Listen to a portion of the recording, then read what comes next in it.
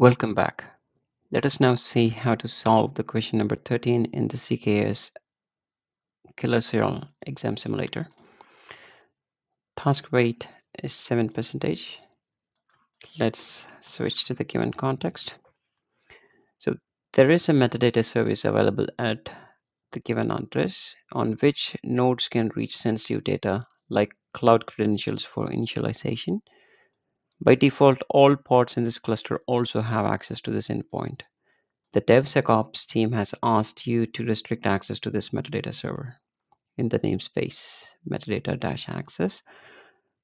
Create a network policy named metadata deny, which prevents egress to this IP address for all pods, but still allow access to everything else.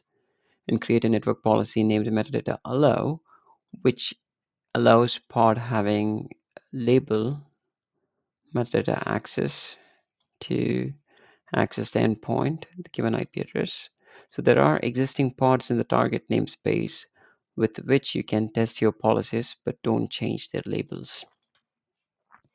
So this question is about uh, the network policies, right? So let's check the pods in this namespace. So we have three pods running.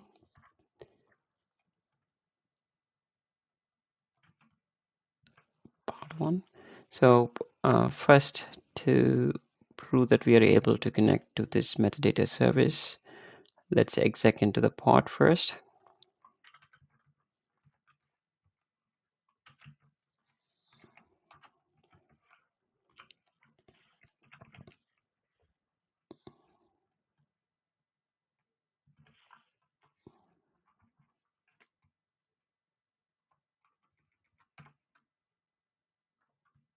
We don't have to go to the shell, but rather we can simply curl from here.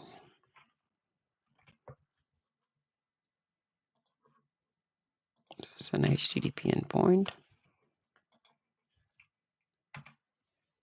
It is able to, so pod one is able to reach the metadata server or service from here. Let's check the same for the pod two.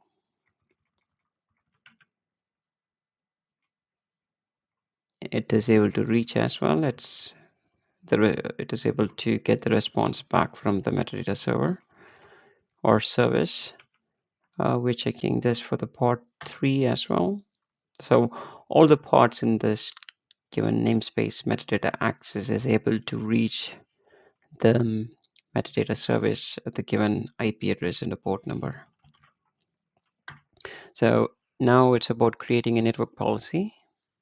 Let's go back to the Kubernetes documentation and then search for network policy.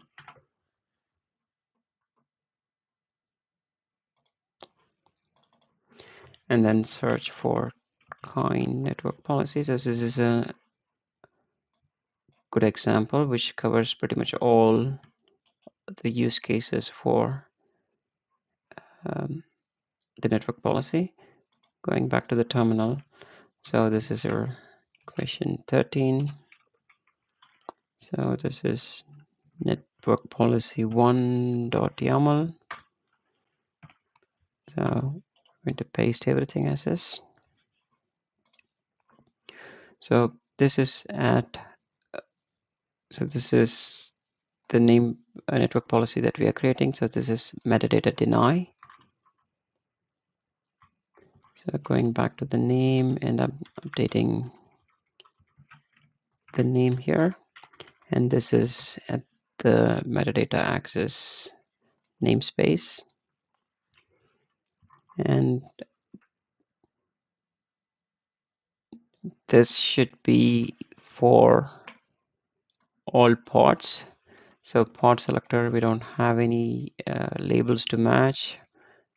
Rather, apply this network policy to all the pods and so we are now talking about egress not ingress so we don't need anything for ingress I've deleted it Um, this ingress section, I'm just going to keep it for a while because it does have some additional blocks that we may need.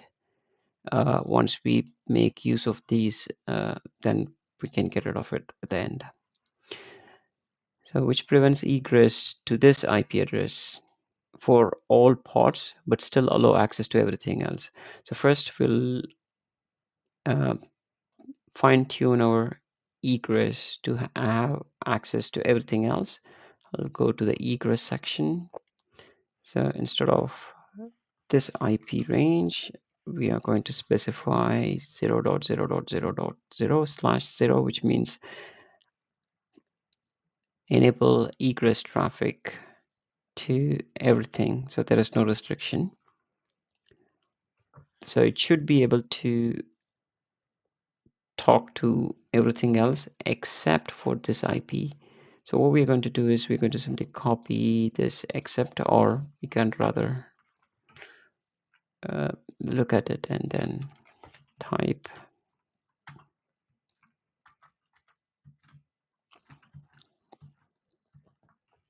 here.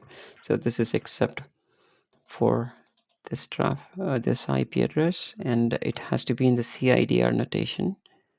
So since this is uh, known IP, so we will give the 32 as the CIDR range. So I think that's pretty much about the egress rule. So we don't need uh, the port information and we, we can now get rid of the ingress.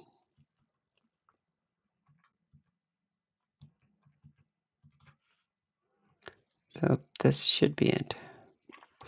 Name looks good, namespace looks good, applies to all pod, only for egress. So access everything except this, looks good. Uh, let's not apply uh, this. So I'm going to create another network policy now. Uh, let's copy the same example, what we copied from the Kubernetes documentation. And paste everything, what we copied. Uh, let's do the same thing from the top again. Let's give it a name. So it is metadata allow. And you know it is in the metadata access namespace. And pods having the role uh, metadata accessor match labels we should have this information. Role metadata accessor should be able to access the given endpoint. So we are not going to need this ingress. So we can safely get rid of it. And for egress we don't need the port sorry port details as well. Whereas we need this IP block with the CIDR notation 32 so what does uh, what this network policy states is that uh, within this metadata access namespace any ports matching this label should be allowed to access this IP perfect we're done. Now let's create sorry create these network policies. It is created. Both of them are created now.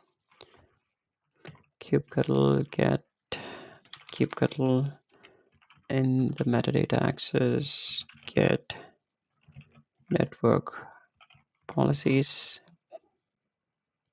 Looks good. Um, now let's go back and try and access the curl from pod one.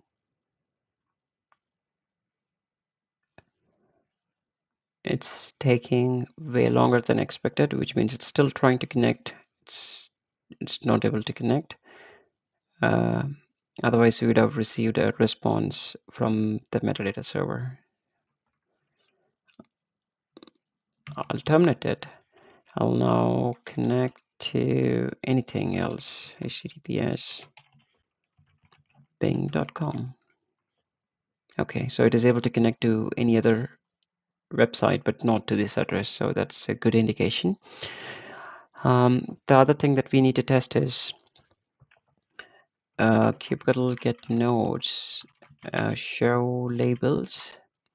So pod that match uh, the label metadata accessor role should be able to connect or talk to this endpoint. Uh, any any nodes having this label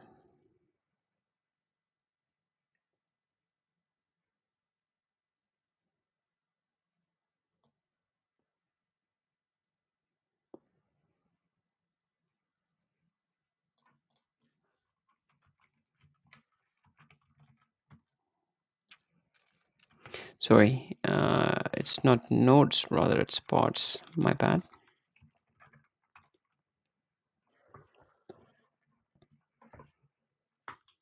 Uh, we have to do this in the metadata access all right we see this pod 3 have the metadata accessor role so let's exec and do the same thing which we have done before. Sorry not pod 2 it's pod 3 okay it is able to access so looks good. So that's that's all for this question and thanks for your time